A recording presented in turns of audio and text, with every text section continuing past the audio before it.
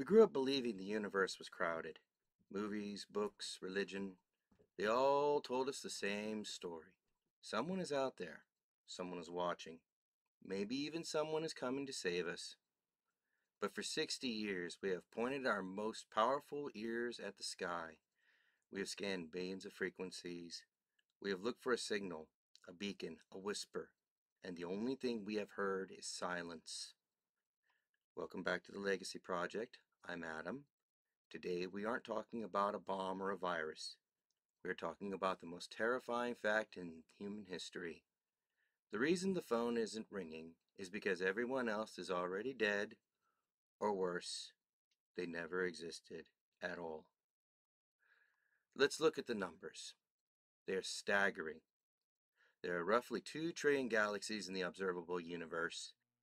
That means there are about 2 times 10 to the 23rd power of stars. That's a 2 with 23 zeros behind it. To a layman, those numbers say life must be everywhere. It seems arrogant to think we are special. This is the Fermi paradox. If the universe is a machine for creating life, where are the ships? Where are the Dyson spheres? Harvesting stars, if even one civilization survived the filter, they should have colonized the galaxy by now but the sky is empty. Why? Because the universe isn't a factory for life, it's a filter. And we didn't just pass one test, we passed a million. It starts with biology. The Goldilocks planet, the magnetic shield, the freak accident of the complex cell. But even if you get life, you almost never get technology. Physics is against you. When Earth was molten, all the heavy metals, gold, platinum, the stuff we need for electronics, sank to the core. The crust was empty. We only have metal today because of a freak event called the Late Heavy Bombardment. Asteroids smashed into Earth after it cooled, reseeding the surface with metal. Without that specific meteor shower, we never leave the Stone Age. We are smart dolphins trapped on a rock.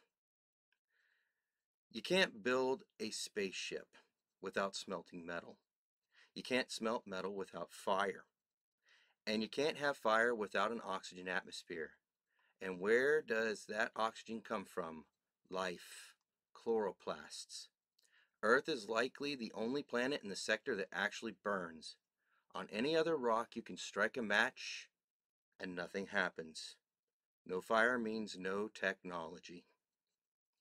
When we woke up as a species, we found a fully charged battery buried in the basement. Millions of years of compressed sunlight, coal, and oil waiting for us.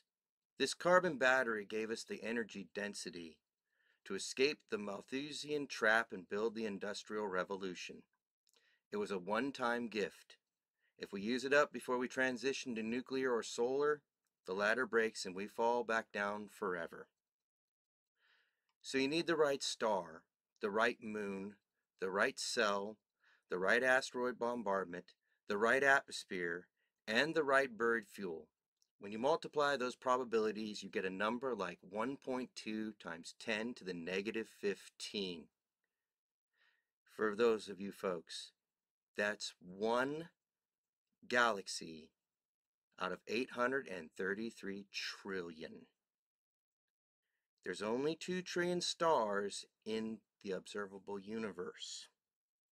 You would have to look through 833 trillion galaxies to find a civilization like ours.